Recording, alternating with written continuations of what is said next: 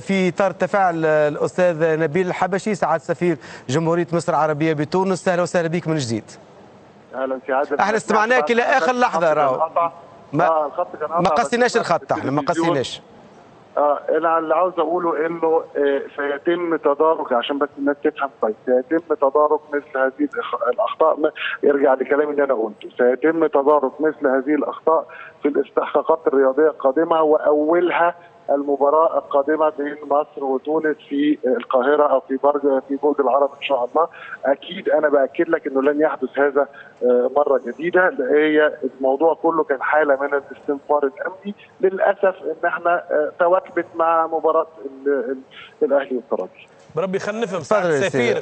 أنا مانيش آه، معناها قوي في الدبلوماسية.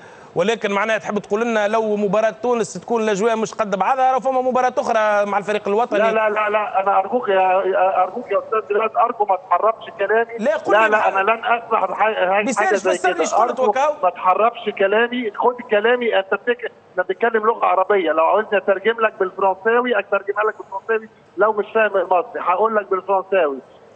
ce qui s'est passé ne, ne sera plus euh, faisable dans les prochains. Il y a beaucoup de, de d'événements euh, euh, euh, de sport qui viennent entre l'Égypte et la Tunisie donc يعني فهمني انا مش محتاج ان انا اشرح لك اكمل احنا هنضحك يعني انا شايف بتضحك وانا موطي التلفزيون انما سو كي سي باسي ده اللي حصل حاجة آه، آه، ما كانش المفروض تحصل ولكن سيتم تداركها في أي استحقاقات رياضية واتحدث اللغة العربية حاليا سيتم تداركها في أي استحقاقات رياضية قادمة. وأول هذه الاستحقاقات على حد علمي هي مباراة مصر وتونس إن شاء الله يوم 16 نوفمبر. قد يكون هناك استحقاقات أخرى لا أعلم ولكن من حيث علمي أنا بين مصر وتونس كسفير لمصر في تونس اعلم أن الاستحقاق القادم بعد يوم الجمعة القادم هو يوم 16 واضح وأشكرك جدا وأرجو عدم تحريف كلامي من فضلك واضح شكراً. واضح سعادة السفير وصلت الفكرة وصلت المعلومة. إن شاء الله ما عادش نشاهدوا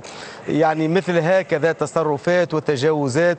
لأنه لابد أن نحافظ على على العلاقات. وما نخليوش ربما الأمور تتوتر إلى درجة ما نحبوهاش كما صاير اليوم في هذه الوضعية. إن شاء الله نتجاوزوها بسلام لأنه الترجي مطالب بالانتصار على الميدان. ومرحبا بالأهلي المصري. رغم كل هذه المشاكل اللي حصلت الممثل الكره التونسيه في آه، مباراه الذهاب. شكرا سعادة السفير.